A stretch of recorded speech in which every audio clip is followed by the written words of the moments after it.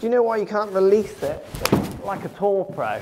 Why amateurs struggle to get a release that allows them to hit the ball further, straighter, better strokes with their irons, more de-lofting, handle lean, all these things. And as I do more and more videos on this subject, I can see so many people tripping up with the idea of getting into these kind of impacts and then in turn with a driver, similar kind of lining up impacts. And it's a lot to do with the understanding of how you release, how you let the club go or not on the way through, what you do with your wrists or don't do. Let's show you what I mean. So when we look into the amateur database that I've got from my Swing Catalyst plates here and the video capture, we see a common, common pattern that is not there when you look at world-class players.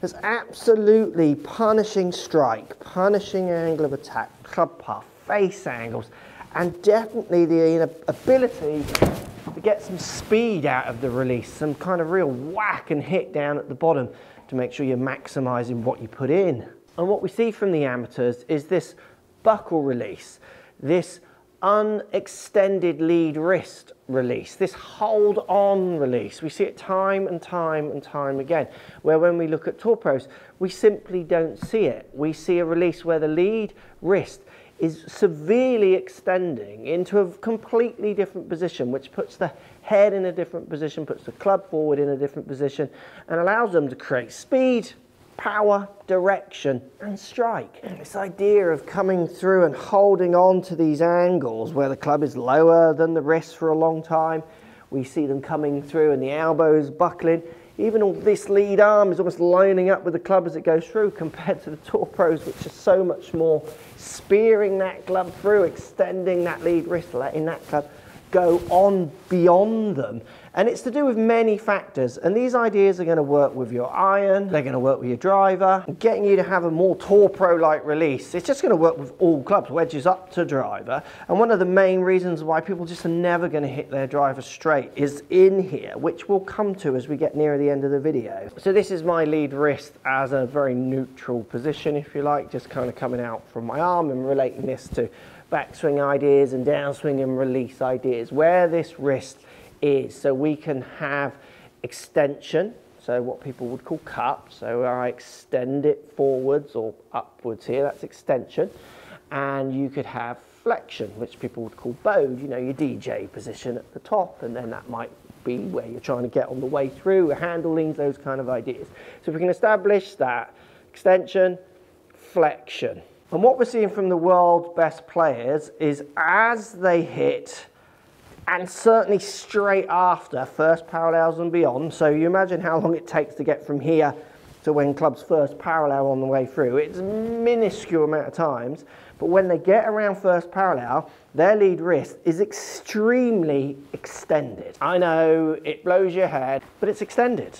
They've gone from some level of flexion to a little bit of extension subject to their matchups with their grips to hitting the ball with some level of extension or flexion, again, subject to their matchups. Yep, some are in extend, uh, starting to extend at this point to loads of extension as they get to first parallel. Well, with the buckle release, the hold on release, we see less extension in lead wrist, almost holding on to this straighter angle, giving it these kind of follow through positions where we now need to see the body really start to shift and move forwards because nothing's happening in here. Now, a simple way to get this concept in your mind is to get a frisbee or anything that you can throw like a frisbee. So I've just got a dozen balls here. Srixon soft Softfields, but any manufactured balls will do the job. It's the shape. so I'm going to throw these out in front of me like a frisbee. So what I'm going to do is I'm going to put my lead wrist into flexion. So I'm going to create lots of flexion with my lead wrist. And then as I come down, start turning my body, I'm going to start going out of flexion and into lots of extension as quick as possible to get the release, to get the spin on this, to get it going like a helicopter through the air, to get that speed and momentum onto this box of balls to throw it out in front of me. And I'm doing the same ideas with the club. Even though I'm not in the throwing the box of balls in flexion with my lead wrist, I'm in less extension going into lots of extension. Now this gets complicated because the amount of wrist angles that you need for this to function is going to differ for every one of you subject to how weak or strong your grip is, subject to how you move your hands. But the basic principles will be the same. If you're semi-extended on the way down, you're still going to go into lots of extension on the way through. If you're in flexion, DJing on the way down, you're still going to go into extension on the way through. You're going to have a relationship of going from there to there, or a relationship of going from here to there. It's going to be going that way. But you can see from the amateurs, it's not. And I do this video, I've done it lots, and people say, oh, well, that's just the recipe for flicking it at the bottom. No, it's absolutely not. When I'm in this position here, coming in to hit this ball, this handle is ahead of that head, and my wrist is extended. And it's now going aggressively into extension for that club to go on beyond to get into my follow through position, that kind of tall position that you see on the way through this idea of holding on to this angle for hours as people try to control shaft leads is actually causing more of this, believe it or not, kind of the opposite. And that's where I see so many get stuck. So the, the frisbee throw is a really good way of understanding and feeling that release at the bottom and we can get that onto the golf club, which we're going to come to. Now, the next idea and feeling is really simple. Do this at home if you can, if you're watching. Stand up, get anything that resembles a club. You don't even need a club. You can pretend you've got one in your hand. Just put the club out in front of you, somewhere parallel to the ground. And then I want you just to turn and face your imaginary target with your body, hips and shoulders. And I've not really done anything in my wrist and I've not done anything in my arm. I've just turned and rotated that way. Then bring your head back to where the ball is. Bring your shoulders slightly back with it. Try and keep your hips there. Let your right foot be up. And just think about this position. Yeah, you're looking at this position thinking, yeah, that looks like what tour players do. And then look at your lead wrist. It's completely extended. To get in this position, this lead wrist has to extend to allow that club to overtake and the toe end get up in the air and get the feeling of the face being worked. It is not being held on to, given those buckle finishes that we saw earlier. You're not holding on to these angles. You're getting them gone. And to get them gone, and I'm sure lots of you recognise these kind of images. That's what we see from good players. Look at my lead wrist. It's so extended.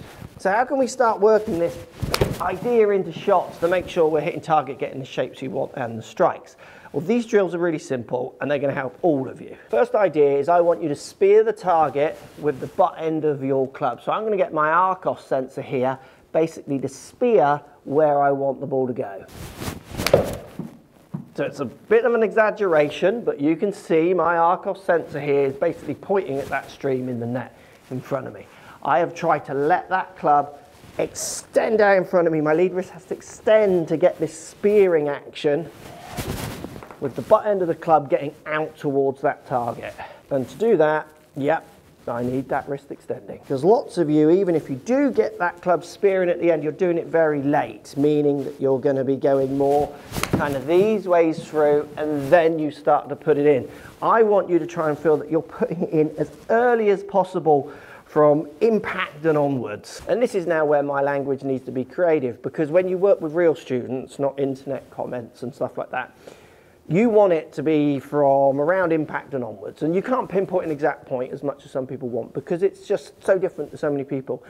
If you're someone who can't get this spear in time, you're always doing it late, then I'll say to you, if you're listening, and you can try this, this is where experimentation is the best, you need to do it as soon as you start downswing. As soon as you start pulling on the way down, you should be trying to feel like you're trying to get that club to overtake and spear. And if you do it too much, where you do start to get a little bit flippy at the bottom, I'll tell you to do it later. And that's the beauty of golfing uh, instruction. It's not about telling always people how to do it. These are concepts that you need to go away and practice. And I see that in the comments. Oh, you shouldn't do that because, you know, this happens. Well, it doesn't happen to everybody. And that's the beauty of coaching. Your language has to be creative. And hopefully as learners down that lens, you need to be creative. Experiment with these ideas. Chuck away the ones that don't work. Use the ones that do work. Same ideas with your driver. Hit your shots. Try and get that club spearing out to the target as you've hit it, really letting that club overtake and go at the end, getting that extension, getting that follow through position into this position where you are extending lead wrist. I like to do it with mid irons for most golfers. You can do it with the driver, but it's harder. That'll come in time because it's just easier for them to manipulate different feelings. And remember, we're talking about extending lead wrist on the way through into impact and on the way through. It's scary. They're thinking flipping and all those ideas. So do the medium iron and kick it off. Next drill really works wonders for students is set yourself up to the ball and then I want you just to put your lead hand opposite your inner thigh, have your lead wrist extended so it is starting to extend. Remember this way, flexion, extension. And the club head about a foot in front of your lead foot. Now from here just pull that club over the ball and try and get back into that position. It's going to really give you that preset feeling of that club being let go. When you do this idea, people definitely go, that's definitely flipping. Just watch this. So hopefully from this camera angle, you can see that my handle is ahead of the ball and the head. And what I'm gonna do is just pick this club up, same handle lean forward, and then I'm just gonna bring my feet back to nearer this other camera here. And what you're gonna see is it's the same position, it's just gone beyond the angles of the camera. Yet when you put people in this position, and certainly when I make videos on this, people say, yeah, but that's the club flip forward. It's not, that handle is ahead of that head on the angle it's at. It's just that you've got a fixed camera on a 2D and we're in a three-dimensional space moving around it, which is why this drill works so well for golfers, because it's pre-setting handle forwards with extension. It's doing it for them handle forwards, head forwards, hand opposite lead fight, extended wrist, bring it back, try and get in that position, let it rip. And the last idea, which leads on to other ideas, but it's a good starting point, is thinking about how this end relates to this end. So if you can get yourself, get flexion on that lead wrist and then extend it, so the same ideas with a golf shot. So doing a few little half swings where you just put it into like last parallel coming in to hit the shot. But what I want you to do is just really turn the club down to the ground, which is going to put your wrist in deflection. And then from here, really extend it through. It's really going to allow you to feel that club flicking forwards. Don't be afraid if you hit a few low hooks, few duffs, you're going to hit some funny shots.